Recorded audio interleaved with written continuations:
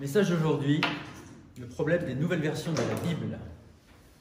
La Bible est fondamentale, c'est sur ce livre que Dieu nous a laissé que repose notre foi.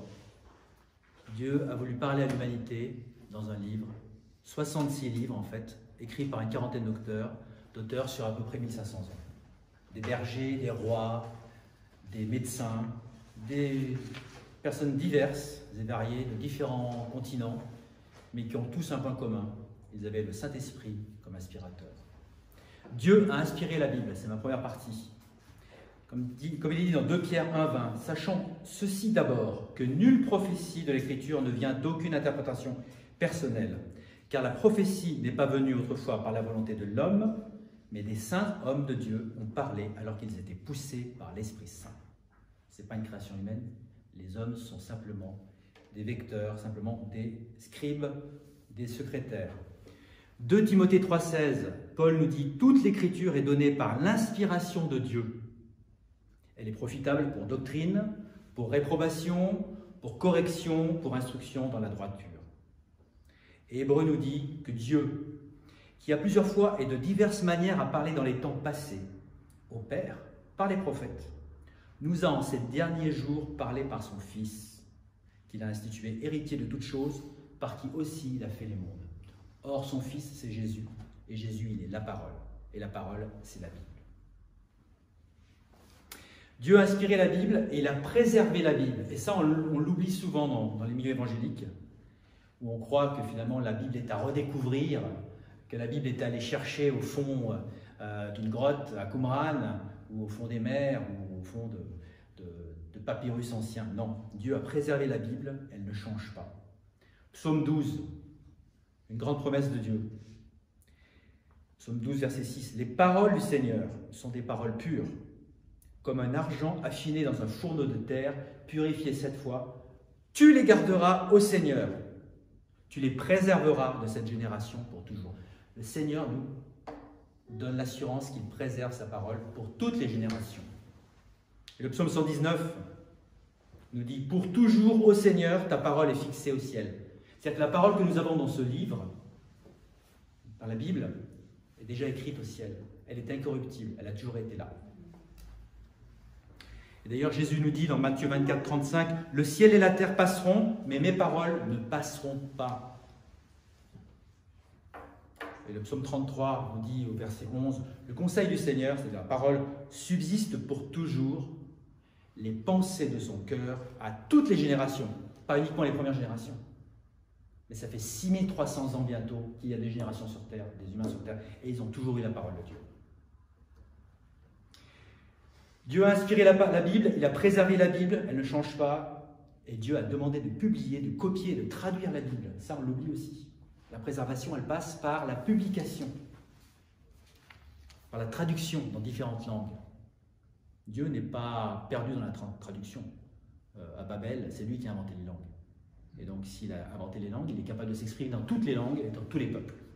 D'ailleurs, la Bible est sans doute le livre qui a été le plus traduit au monde. Je crois qu'il y a aujourd'hui euh, plusieurs milliers de, de Bibles qui ont été traduites.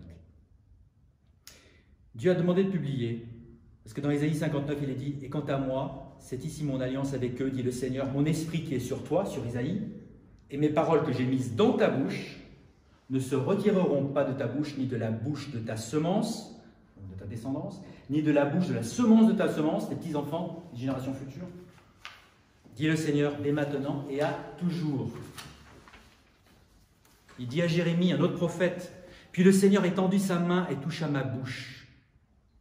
Et le Seigneur me dit, voici, j'ai mis mes paroles dans ta bouche. Dans Jérémie 36, un peu plus tard, Jérémie donc prit un autre rouleau, puisqu'il y a un moment où le roi prend le rouleau de Jérémie, donc une partie de la Bible, et le met, le jette au feu. Ça n'arrête pas Dieu. Le papier peut brûler, mais la parole, reste.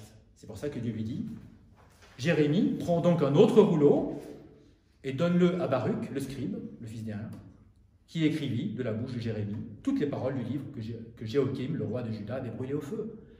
La Bible est indestructible. Il n'y a pas de plus de livres qui a été brûlé que la Bible dans le monde. Elle a été brûlée par les communistes, elle a été brûlée par les catholiques, elle a été brûlée par les... Tout le monde a brûlé la Bible. Mais la Bible est inscrite dans le ciel et elle se reproduit toujours pour toutes les générations. Et tout ça, pourquoi? Pourquoi cette, préservation Pourquoi cette publication? Pourquoi cette traduction? Afin qu'elle soit accessible et utile.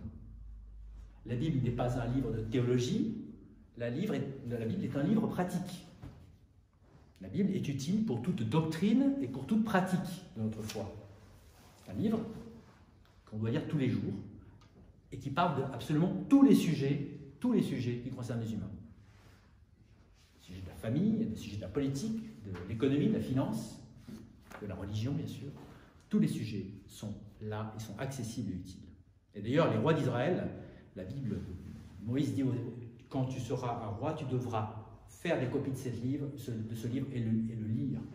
Et si nos gouvernements et nos gouvernants étaient bien inspirés, ils auraient la, la Bible, et on serait bien mieux sur cette terre avec des gouvernements qui suivraient les principes bibliques. Donc, qu'elle soit accessible et utile. Deutéronome 30, dans la loi de Moïse. Car ce commandement que je te commande ce jour n'est pas caché de toi et n'est pas loin non plus. Il n'est pas dans le ciel, pour que tu dises qui montera pour nous au ciel et nous l'apportera, pour que nous puissions l'entendre et que nous le fassions. Il n'est pas non plus au-delà des mers, pour que tu dises qui passera au-delà de la mer pour nous et nous l'apportera, afin que nous puissions l'entendre et que nous le fassions. Mais la parole est près de toi, dans ta bouche et dans ton cœur, pour que tu puisses la faire. Inutile d'aller faire de l'archéologie pour chercher euh, d'anciens rouleaux de la Bible, non, la Bible, elle est là, elle est disponible. Et dans notre génération, elle est encore plus disponible peut-être que d'autres générations, puisqu'on l'a sur notre iPhone, on l'a sur nous en permanence. Nous sommes une, génération privilégiée qui avons la Bible sur notre téléphone, à défaut de notre cœur. On devrait plus l'avoir dans notre cœur et dans notre tête Jésus le rappelle, il est écrit, l'homme ne vivra pas de pain seulement, mais de chaque parole qui sort de la bouche de Dieu. C'est une lecture qui doit être quotidienne, comme notre nourriture est quotidienne. Et de Timothée 3,16, comme on l'a lu tout à l'heure déjà, toute écriture est donnée par l'inspiration de Dieu. Et verset 17, afin que l'homme de Dieu puisse être parfait, pleinement pourvu de toute bonne œuvre. La Bible est suffisante pour le chrétien. Inutile de rajouter quoi que ce soit. Les révélations extra-bibliques ne valent rien. Tout ce que nous avons besoin, c'est de connaître ce que dit la Bible. Pas besoin de prophétie, de vision, euh, euh, d'ange ou de faux Jésus euh, pour connaître ce que Dieu veut nous donner. Il a écrit. Donc la Bible, inspirée de Dieu, préservée, publiée, traduite, accessible. Mais la Bible, la Bible est attaquée. Elle est bien sûr disponible, mais elle est attaquée par qui? Elle est attaquée par le malin, par Satan. Satan a horreur de la Bible. Satan a horreur de la parole de Dieu. Et dès la Genèse, on voit qu'il est à l'œuvre. Au chapitre 3 déjà de la Genèse, au troisième chapitre de la Bible, sur 1189 chapitres, déjà au troisième chapitre, il est là. Chapitre 3 de la Genèse. Or, le serpent était plus subtil qu'aucune des bêtes des champs que le Seigneur Dieu avait faites. Et il dit à la femme, Oui, est-ce ainsi que Dieu a dit? Vous ne mangerez pas de tout arbre du jardin? Et la femme dit au serpent, nous pouvons manger du fruit des arbres du jardin, mais du fruit de l'arbre qui est au milieu du jardin, Dieu a dit, vous n'en mangerez pas, et vous n'y toucherez pas, de peur que vous ne mouriez. Et c'est là, après avoir semé le doute, le malin transforme la parole de Dieu. D'abord, il sème le doute, il s'aperçoit que la femme a mal appris sa leçon, puisque Dieu n'avait jamais dit de ne pas toucher le fruit, et puis simplement dit de ne pas manger. Le malin s'aperçoit qu'elle connaît mal son, texte, qu'elle connaît mal la doctrine, et il en profite. Et alors là, il transforme la parole de Dieu. Et le serpent dit à la femme, vous ne mourrez sûrement pas, car Dieu sait qu'au jour où vous en mangerez, vos yeux alors seront ouverts, et vous serez comme des dieux, connaissant le bien et le mal. L'orgueil de la vie, l'orgueil de l'homme, qui est de connaître par lui-même la sagesse, de décider pour lui-même, et peut-être même le secret désir de devenir un Dieu, qui sait le bien Donc le malin transforme la parole de Dieu. Il la transforme, et on le voit comme, comme Paul nous le dit, dans 2 Corinthiens 2, 17. Car nous ne sommes pas comme beaucoup qui corrompent la parole de Dieu, mais comme avec sincérité, comme de la part de Dieu, à la vue de Dieu, nous parlons en Christ. Nous sommes au premier siècle, premier siècle du Nouveau Testament, et déjà, déjà des fausses Bibles, déjà des faux textes apparaissent. C'est Pierre qui dit dans 2 Pierre 3,16 comme aussi dans, toutes les épîtres, dans toutes les épîtres de Paul, il parlant de ces choses dans lesquelles il y a certaines choses difficiles à comprendre, lesquelles ceux qui sont sans instruction et instables déforment. Donc il y a déjà des gens qui déforment les paroles de Paul, dit Pierre. Paul nous dit qu'il y a des gens qui corrompent la parole de Dieu, Pierre nous dit qu'il y a des gens qui déforment la parole de Dieu. Paul dit aussi aux Thessaloniciens que vous ne soyez pas vite ébranlés dans l'intention ou troublés, ni par esprit, ni par parole, ni par lettre comme venant de nous. La parole est corrompue, la parole est pervertie, et il y a même des fausses paroles qui arrivent, des faux évangiles. on le voit aujourd'hui. L'évangile de Thomas, le faux évangile de Barnabas, tous ces faux évangiles qu'on essaye d'intégrer dans la Bible alors qu'ils ne sont pas inspirés et qu'ils sont même démoniaques.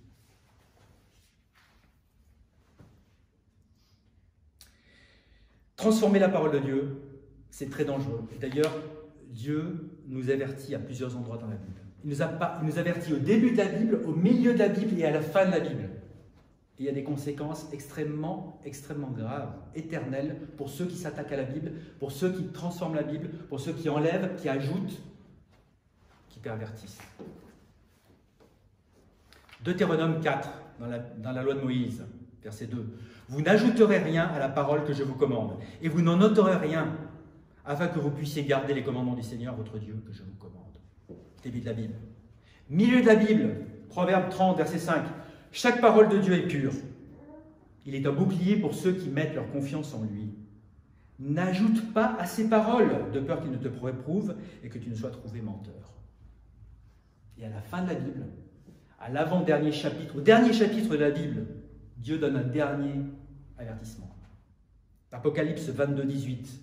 Car j'atteste à chaque homme qui entend les paroles de la prophétie de ce livre, si quelqu'un ajoute à ces choses, Dieu lui ajoutera les plaies qui sont écrites dans ce livre. Verset 19. Et si quelqu'un retranche des mots de ce livre, du livre de cette prophétie, Dieu retranchera de sa, part du livre de vie et de la sainte ville et des choses qui sont écrites dans ce livre. Donc pas de paradis. Vous enlevez votre part du livre de vie, votre nom est effacé du livre de vie. C'est l'enfer.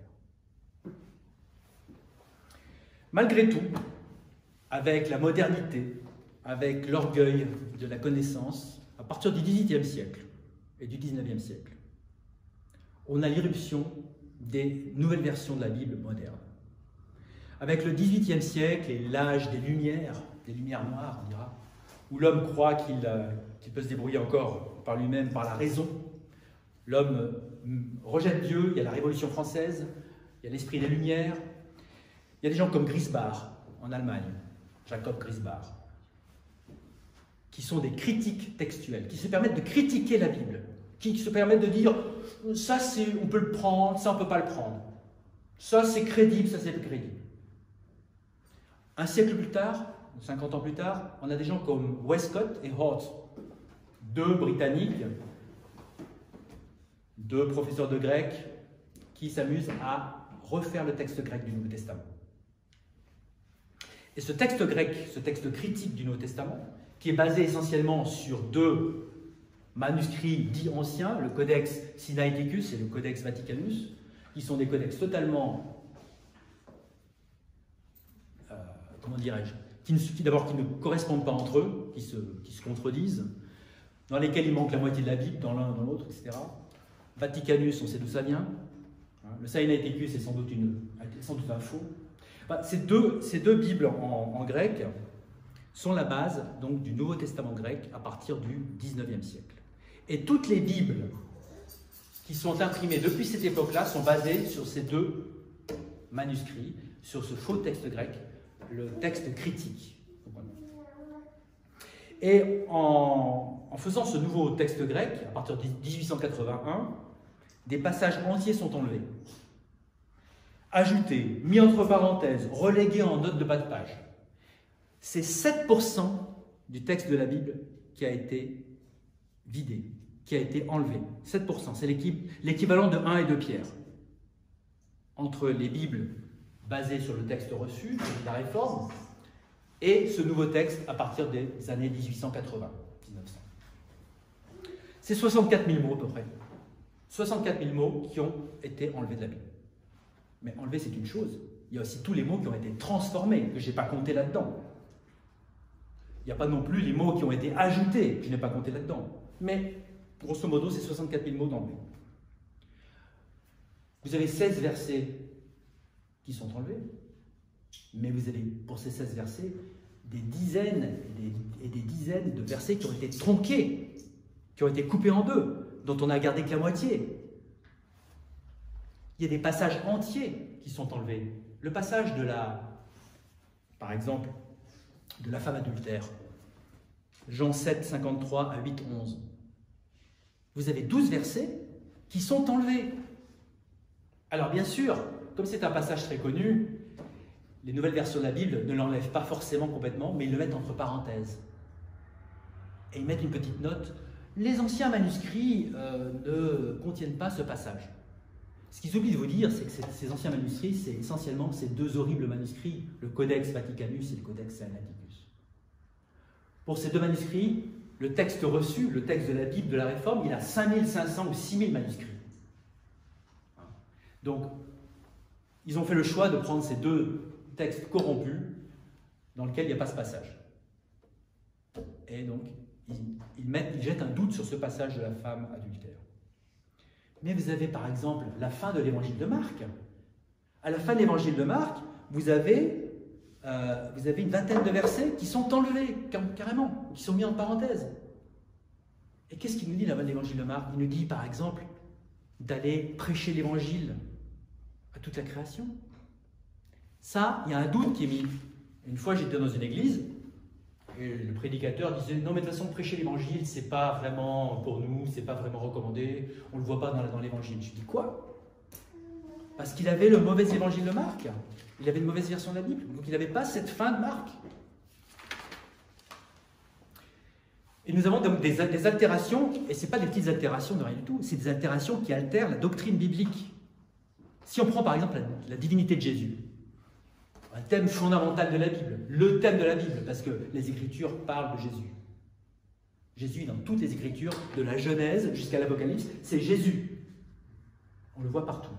Eh ben, par exemple, la divinité de Jésus, les nouvelles versions la font disparaître. 1 Timothée 3,16, par exemple. La Bible dit Et sans controverse, grand est le mystère de la piété. Dieu fut manifesté dans la chair, justifié en esprit, vu des anges, prêché aux gentils, cru dans le monde et reçu en gloire. Qu'est-ce que disent les nouvelles versions? Elle remplace Dieu par il. Il a été manifesté dans la chair. C'est qui le il? Un jour, ce sera l'Antichrist qui dira Il, c'est moi Non, c'est Dieu qui a manifesté. Jésus est Dieu, il a été manifesté dans la chair. Voilà un, un exemple très frappant. Mais Jésus, s'il est Dieu, il n'a pas d'origine. Et la Bible dit. Michée 5.2. Mais toi, Bethléem, Ephrata, bien que tu sois petite parmi les milliers de Judas, toutefois de toi sortira quelqu'un qui doit être dirigeant en Israël. Ces, issues ont été d'ancienneté depuis l'éternité. Jésus est né à Bethléem, il est d'éternité. Les nouvelles versions, qu'est-ce qu'elles disent? La seconde, par exemple. Et toi, Bethléem, Ephrata, tu es, qui est petite parmi les villes de Judas, de toi sortira celui qui dominera sur Israël et dont l'origine remonte loin dans le passé, à l'éternité. Alors, Jésus a une origine. Non, il est l'agneau immolé des avants, la fondation du monde. Il est hors du temps, il est Dieu. Il n'a pas d'origine. Michée 5.2, il n'a pas d'origine. Et les nouvelles versions lui donnent une origine. Alors certaines vont dire des temps anciens, d'autres. Voilà, ça varie. C'est vrai que les nouvelles versions sont obligées de changer un petit peu le style et les mots, parce que pour des raisons de copyright, si vous voulez pouvoir vendre ces Bibles, il faut changer les mots, il faut des mots nouveaux. Donc ils sont sans arrêt en train de se renouveler. Mais bon, l'idée est la même. La Trinité, vous me direz, sujet fondamental de notre doctrine et de qui est Dieu. Le verset le plus simple pour, prouver la, Trinité, 1 Jean 5, 7. Car il y en a trois, qui attestent au ciel, le Père, la parole et l'Esprit Saint, et ces trois-là sont un. Et il y en a trois qui rendent témoignage sur la terre, l'Esprit, l'eau et le sang, et ces trois-là s'accordent en un seul. Et eh dans les nouvelles versions, c'est très simple. Ils ont coupé le premier verset, coupé le deuxième, le deuxième verset, recollé les deux en enlevant le milieu. Alors ça dit, ainsi ils sont trois à rendre témoignage. On oublie le Père, on oublie la parole, on oublie le Saint-Esprit, etc. Et puis on, vous recolle l'esprit, l'eau et le sang, et les trois sont d'accord. Comme ça, c'est pas trop visible. On a toujours un verset 7, on a toujours un verset 8. Non, on a oublié que ce verset de 1 Jean 5, 7 est un, verset très utile pour prouver la, la Trinité lorsque vous parlez avec des témoins de Jéhovah, avec des musulmans. Non, c'est. Alors bien sûr, la Trinité, on peut la retrouver ailleurs dans la Bible. Mais quand vous avez un verset percutant et direct et simple, un bon résumé, pourquoi l'enlever?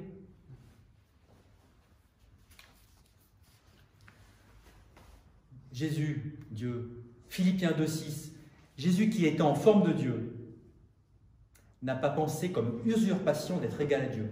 Jésus n'a jamais pensé que c'était une usurpation, que c'était un vol de se considérer l'égal de Dieu, puisqu'il est l'égal de Dieu. Mais les nouvelles versions, les nouvelles versions disent il n'a pas regardé comme une proie à arracher d'être égal avec Dieu. Donc il n'a pas désiré être égal avec Dieu. Vous voyez la différence? Jésus le Créateur, il est plus dans les nouvelles versions. Éphésiens 3.9. Et de faire voir à tous les hommes quelle est l'association du mystère, lequel depuis le commencement du monde a été caché en Dieu, qui créa toutes choses par Jésus-Christ. Dans les nouvelles versions, par Jésus-Christ est enlevé. On enlève Jésus créateur. 1 Corinthiens 15, 47. Le premier homme est de la terre, Adam, terrestre. Le second homme, Christ, est le Seigneur venu du ciel. Les nouvelles versions enlèvent le Seigneur. Chaque fois, on enlève un titre à Jésus dans ces nouvelles versions. On enlève le Seigneur, on enlève Christ, etc. On enlève ses origines, on lui donne les origines, etc.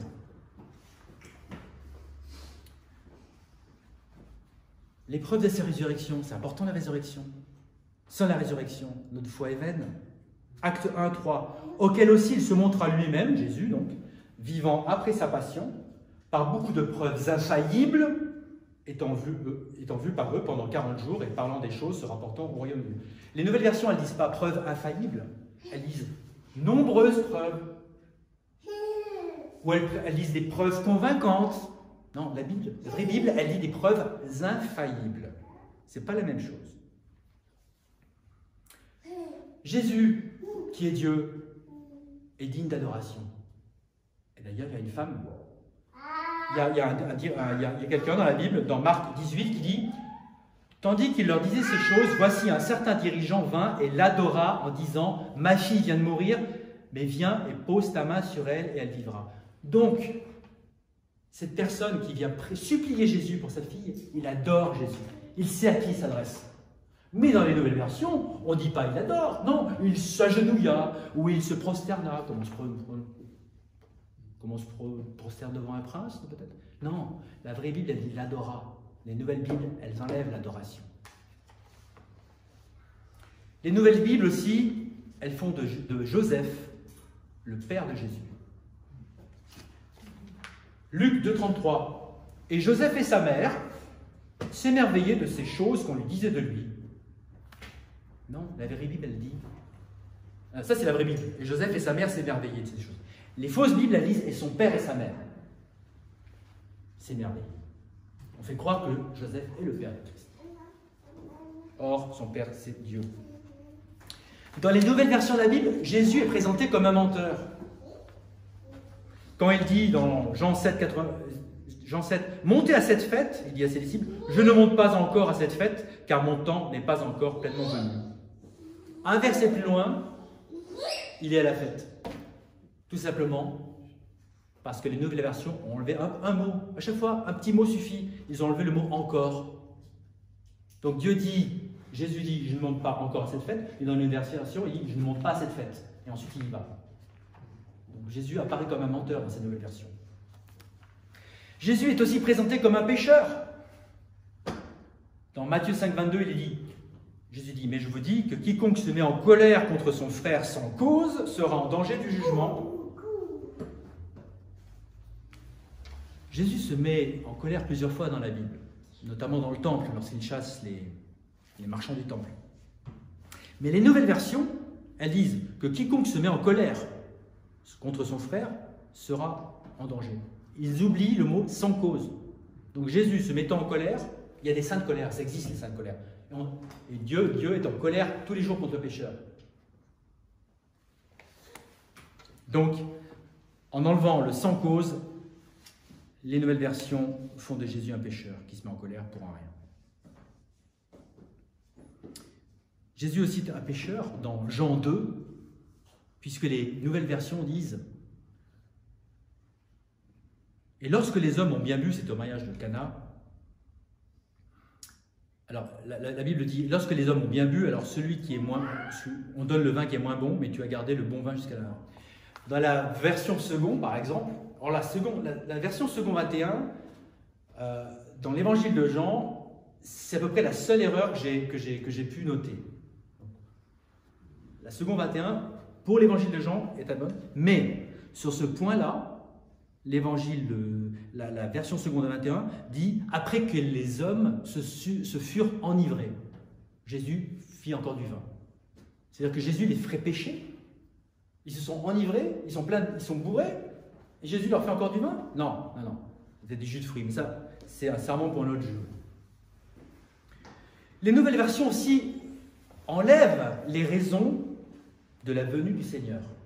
Matthieu 18, 11, qui explique clairement, car le Fils de l'homme est venu pour sauver ceux qui étaient perdus. Ce verset-là n'est pas dans les nouvelles versions. Il n'est pas dans la seconde. On enlève la raison de la venue du Christ. Alors vous me direz, euh, dans 9,56 c'est pareil, dans Luc 9,56, car le Fils de l'homme n'est pas venu pour détruire la, vie des hommes, mais pour les sauver. Et ils allèrent dans un autre village. C'est pas dans la Darby. Donc Darby, la version Darby qui est considérée comme une version très... Moi j'ai grandi avec. J'étais chez les frères et on voyait la version Darby comme la version la plus proche du texte original. quand je vois ça, quand je vois que Darby a oublié ce verset, enfin pas, tout le verset, l'essentiel de ce verset, car le Fils de l'homme n'est pas venu pour détruire les vies des hommes, mais pour les sauver, Darby l'a enlevé. Pourquoi? Parce que Darby, Darby, John Nelson Darby, je dirais qu'il est même pire que Westcott and Hort, en ce sens qu'il a, fait sa propre version de la Bible avant même Westcott and Hort. John Nelson Darby fait une version de la Bible avant même que ce soit la mode, une fausse version. Enfin, il y a plein de thèmes. Je pourrais parler du salut, de la nouvelle naissance, par exemple. Euh, la nouvelle naissance, euh, dans, Marc, euh, dans 1 Pierre 2.2 par exemple. Il est dit de désirer le lait pur de la parole afin de pouvoir grandir dans notre salut. Les nouvelles versions vont dire pour grandir vers votre salut. Comme si le salut était progressif, comme si le salut n'était pas une nouvelle naissance à un moment donné. Non, ils vous font croire que c'est une progression. Non Le sang du Christ, encore une doctrine très importante qui est offusquée par les nouvelles versions. je sais que c'est à la mode, puisque John MacArthur lui-même a nié l'importance du sang du Christ. Mais non, c'est ce sang qui nous lave de tout péché. Colossiens 1,14, en qui nous avons la rédemption par son sang, c'est-à-dire le pardon des péchés. Les nouvelles versions enlèvent par son sang, en qui nous avons la rédemption, le pardon des péchés. On oublie le sang. Le baptême d'eau, on est des baptistes. Important pour nous le baptême, c'est pas ce qui est plus fondamental, mais c'est quand même un commandement. Le verset le plus puissant qui démontre que le baptême d'eau doit être fait par un croyant, conscient de ce qu'il fait, et pas par un enfant qu'on amène devant un prêtre ou un pasteur. Non. Le baptême d'eau est clairement identifié dans les bonnes versions, dans la King James notamment, dans les versions du texte reçu, acte 8, 37.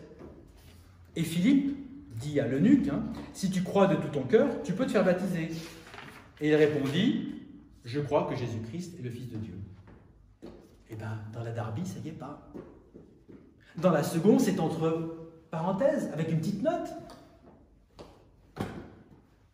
Donc, la doctrine du baptême est une doctrine qui est minimisée, qui est bafouée, qui est oubliée. Et c'est pour ça que, par exemple, non seulement les catholiques, mais aussi les protestants, les luthériens, les presbytériens, baptisent les enfants.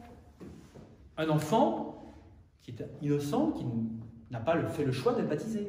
On confond la présentation de l'enfant au temple, par exemple, ou la présentation d'une famille pieuse qui veut élever son enfant dans la foi et s'engage devant éventuellement euh, les frères et sœurs à le faire, avec le baptême d'eau, qui est un symbole d'une mort et d'une résurrection en Christ. Je pourrais continuer l'enfer, par exemple. Le mot enfer, c'est ce que ça veut dire. On sait, n'importe quelle personne, tout à l'heure on va aller prêcher l'évangile. Si vous parlez de l'enfer dans la rue à quiconque, ils savent exactement ce que c'est. Les gens savent ce que c'est. Mais dans les nouvelles versions, non, on ne sait plus ce que c'est. On ne sait plus ce que c'est. Le mot enfer, par exemple, est 54 fois dans la King James. 54 fois. Dans les nouvelles versions, il y a entre 4 fois et 9 fois. Et le mot enfer est toujours remplacé par le sépulcre, la tombe, euh, le séjour des morts, etc., euh, etc. Mais ça, ça n'évoque, vous savez quoi chez les gens? Rien. Le Hadès, le Shéol. Non, la Bible a dit enfer. L'enfer, c'est l'enfer. Et c'est pour ça qu'on oublie des doctrines comme le fait que Jésus est descendu en enfer pour payer pour nous. On oublie ça. Les douleurs de l'enfer m'ont environné, les filets de la mort m'ont surpris dans 2 Samuel 22. Ben, la seconde, elle va dire Le lien du, du sépulcre m'avait entouré, les filets de la mort m'avaient surpris. Non. Mais l'enfer, l'enfer c'est quoi? Jésus, à trois reprises, trois reprises, nous dit dans Marc 9, au verset 44, au verset 46, au verset 48, il nous dit trois fois la même chose. Il insiste. Il dit quoi? L'enfer est le lieu où leur verre ne meurt point et où le feu ne s'éteint pas. Eh bien, deux fois sur trois, les nouvelles versions enlèvent. Quand c'est pas trois fois sur trois. C'est définition d'enfer, un lieu de tourment et de flamme éternelle. Est-ce qu'il me reste encore un peu de temps? Encore 10 minutes. Et pourtant, les contradictions internes des nouvelles versions devraient, si ce n'était pas si triste, nous faire sourire. Franchement. Des fois, c'est très drôle. C'est très très drôle. Ça devrait les discréditer, mais malheureusement, les gens qui ne veulent pas croire et les gens qui ne veulent pas voir Qui a tué David? Qui a, tué Goliath Pardon? David. Vous savez ce que dit 1 Samuel 21, 19 dans les nouvelles versions? Il y eut encore une bataille à Gob avec les Philistins. Et Elanan, le fils de Yareregim, un Bethléemite, frappa Goliath. Donc c'est pas David qui a tué Goliath, c'est Elanan. Et pourtant, ces mêmes fausses versions, ces mêmes fausses versions, dans, le passage parallèle à 2 Samuel 21, 19, qui est 1 Chronique 20, verset 5, où on parle de la même histoire, alors là, elles disent bien, Elanan as le frère de Goliath. C'est dans, dans deux passages parallèles, deux parallèles, dans Chronique et Samuel, les, fausses versions lisent une fois qu'il tue le frère de Goliath et une, fois, une autre fois qu'il tue Goliath. Non. La Bible, la King James, les bonnes Bibles, elles disent toujours il tue à Goliath. Euh, il y a des. Ces fausses versions, des fois, sont, sont, sont, drôles. Par exemple, Galates 5.12. Paul dit Je voudrais qu'il soit retranché ce qui vous perturbe. Vous savez ce que les nouvelles versions disent pour retrancher? Puisse-t-il même se castrer ceux qui jettent le trouble parmi vous? Puisse-t-il même s'émasculer? Amen. Alors même que la Bible dans Lévitique 19 dit Vous ne ferez pas d'incision sur votre corps. Ça, même les nouvelles versions le, disent. encore une contradiction. contradiction. Et les nouvelles versions, elles ne comprennent rien à la géographie. Luc 4, 44. Et Jésus prêchait dans les synagogues de Galilée. Ben, les nouvelles versions, elles se trompent, se trompent de région. Et il prêchait dans les synagogues de Judée. Sauf que la, Galilée, c'est l'extrême nord d'Israël, et la Judée, c'est l'extrême sud. Pas de problème, je veux dire. On est, des, on est des savants, on est des théologiens. Ils ne connaissent pas la géographie d'Israël.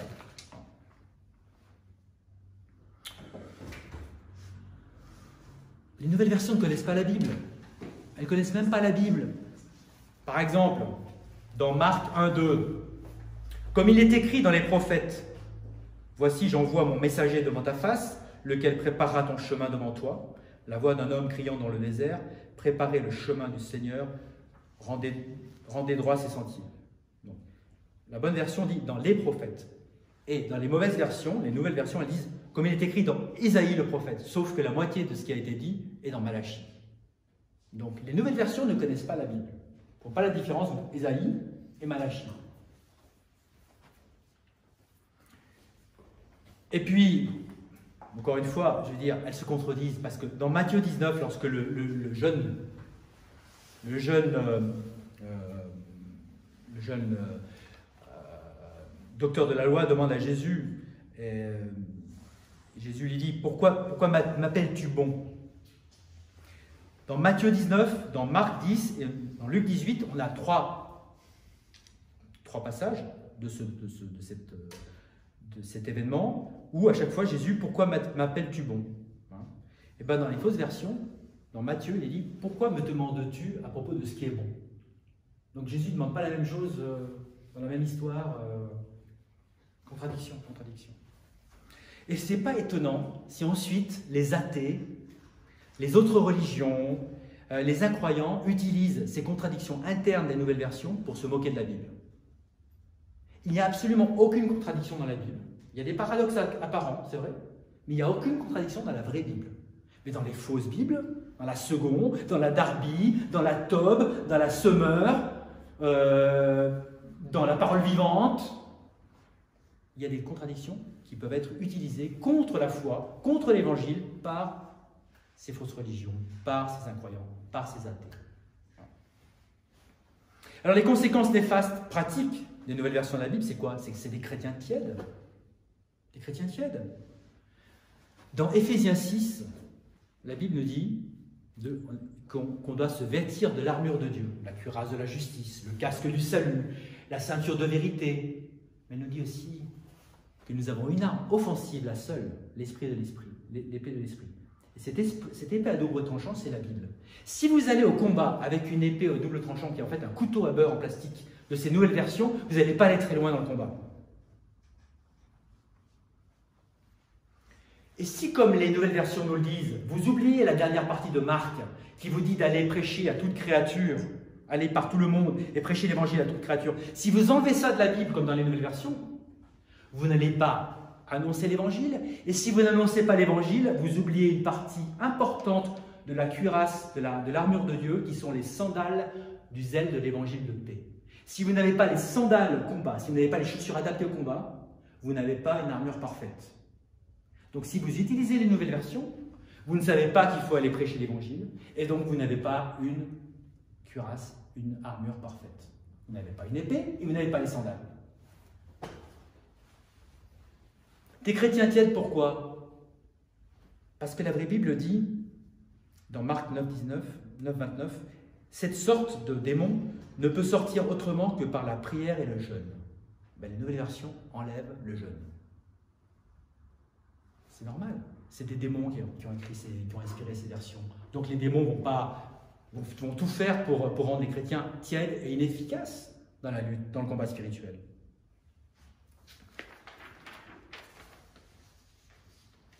Des chrétiens tièdes et des églises faibles. Pourquoi des églises faibles? Parce que quand on n'a pas la même Bible, on divise. Et quand vous avez aujourd'hui une église évangélique où vous avez dix versions différentes, où les gens discutent entre eux de savoir ce qu'il faut lire, ce qu'il ne faut pas lire, que le pasteur change dans son, dans son, dans son, dans, son prêche euh, et utilise dix versions différentes pour essayer de, trouver ce qu'il veut vraiment dire lui-même sans que la Bible parle elle-même, hein, comme Rick Warren par exemple, qui dans son livre Purpose Driven Life utilise 10 ou 15 versions en fonction de ce qui l'intéresse. dans chaque passage. Non. Non. La confusion. Or, 1 Corinthiens 14 nous dit que car Dieu n'est pas l'auteur de la confusion. Il y a une seule Bible, un seul texte. Mais de la paix comme dans toutes les églises des saints. Lorsque vous êtes dans une église qui ne suit pas la doctrine de Dieu et que vous, vous osez dire non, c'est pas juste, on va utiliser un verset des mauvaises versions contre vous. On va vous dire, au lieu de vous dire, comme dit Paul dans Tite 3, rejette un homme qui est un hérétique après la première et la seconde admonition. Donc un hérétique, on doit le rejeter après la, la seconde admonition. Dans la fausse version, qui est là 8 secondes, elle dit Éloigne-toi après un premier et un second avertissement de celui qui provoque des divisions. Ça veut dire que, et ça nous est arrivé, lorsqu'on dit non, c'est pas juste qui enseigne dans cette église, on nous considère comme des diviseurs, et donc ils appliquent ce verset des, fausses versions qui dit Éloigne-toi après un premier un second avertissement de celui qui provoque des divisions. Donc celui qui provoque des divisions pour la bonne cause est rejeté. Alors que la vraie Bible, elle dit celui qui est un hérétique, après la première et la seconde admonition, rejette-le. Ils ont remplacé le mot hérétique par diviseur. Or, qui divise le plus? Jésus est venu pour diviser. Jésus, parce que la doctrine divise. La bonne doctrine, elle sépare le bon gréin de l'ivré. Donc lorsque vous amenez la bonne doctrine, vous divisez. En conclusion, et je pourrais encore continuer sur les églises faibles, les femmes pasteurs et les diacres, pourquoi y a-t-il autant de femmes pasteurs, de femmes diacres aujourd'hui Parce que les nouvelles versions disent quoi? Romains 16, 1. Je vous recommande Phoebe, notre sœur, laquelle, alors la bonne version dit, est une servante de l'Église qui est à s'ancrer. Les, les, nouvelles versions disent, comme la seconde, elles disent Je vous recommande notre sœur Phoebe, qui est diaconesse de l'Église. Donc, oh bah, une femme peut être un diacre. Non, la Bible dit à plusieurs endroits le diacre doit être le mari d'une seule femme. Il n'y a pas de diaconesse. Il n'y a pas de diacre parmi les sœurs. En conclusion, je crois vraiment qu'on est dans, les temps de la fin. Parce que comme Amos le dit dans le Amos 8, Voici les jours viennent, dit le Seigneur Dieu, où j'enverrai une famine dans le pays, non pas une famine de pain ni une soif d'eau, mais d'entendre les paroles du Seigneur. Et ils erreront d'une mer à l'autre et du nord à l'est, ils courront ça et là pour chercher la parole du Seigneur, et ils ne la trouveront pas. Elle existe, la vraie parole, mais elle n'est plus sur le devant des, étangs, des, échelonnages de la maison de la Bible. Vous rentrez à la maison de la Bible aujourd'hui, vous demandez une Bible, on ne va jamais vous donner une bonne version. On va vous donner la Bible du mois. La nouvelle version du mois. Jude nous dit Bien-aimé, quand je montrais toute assiduité à vous écrire au sujet de notre commun salut, il m'a semblé nécessaire de vous écrire et de vous exhorter afin que vous combattiez intensément par la foi qui a été jadis livrée au sein. Nous devons combattre pour la foi, pour la saine doctrine que l'on trouve dans la vraie Bible. Et nous devons pour cela combattre les nouvelles versions de la Bible. Proverbe 28, verset 4. Ceux qui abandonnent la loi, donc la, Bible, la vraie Bible, louent, recommandent les immoraux, louent les immoraux. Mais ceux qui gardent la loi se battent contre eux. Donc on doit se battre pour la défense de la saine doctrine. Prions. Père éternel, nous te remercions pour cette euh, parole immuable que tu nous as toujours donnée, pour toutes les générations, qui ne change pas, qui est inscrite dans le ciel. Nous te remercions que nous avons cette parole immuable, notamment dans la King James en anglais, mais aussi dans certaines versions françaises et dans toutes les langues tu as su parler. Merci de nous garder cela à l'esprit, merci de nous aider à, convaincre euh, nos frères et sœurs qui n'ont pas encore cet enseignement à étudier la chose et à se rapprocher de la vraie doctrine. Amen.